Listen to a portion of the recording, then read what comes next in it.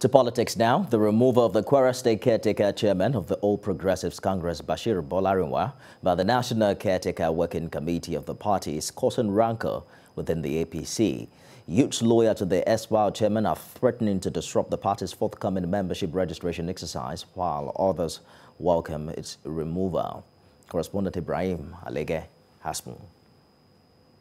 Though publicly denied, it was obvious that there was no love lost between Governor Abdulrahman Abdulrazak and the erstwhile caretaker chairman of the All Progressives Congress in Kwara State, Bashir Bolarinwa.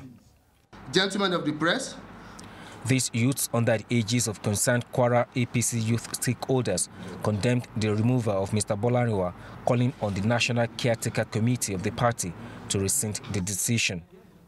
The youth are displeased with the alleged roles played by some governors in Mr. Bolarinwa's removal. It is so sad that right before our eyes, the instructions of our president is being, absor is being absorbed by two individuals, in this case, the governor of Kwara State, Abdurrahman Abdurazak, and his Niger counterpart, Sani Bello. If matters are not resolved back to normal in Kwara, we are saying it to the national leadership of the party that membership registration in Kwara will not hold. We are saying we have a right to choose our leader and nobody will be foisted upon us again like Abdurrahman Abdurazak was foisted upon us in 2019. Yes. The commencement of another round of APC membership registration exercise is almost here. But the aggrieved youth say they will not allow the exercise to go on in Kwara State if the perceived injustice is not satisfactorily addressed. EndSARS started from Kwara long ago. In the meantime, at another press conference, some youths of the party aligned with the removal of Mr. Bolarinwa and the appointment of Mr. Abdullahi Samari as the new caretaker chairman of the party.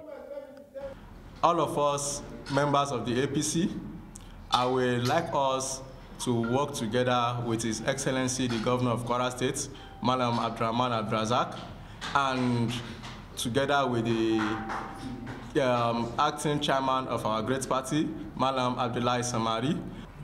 So those with corny agenda, selfish motive, other than development of Kwara State, should rather have a rethink.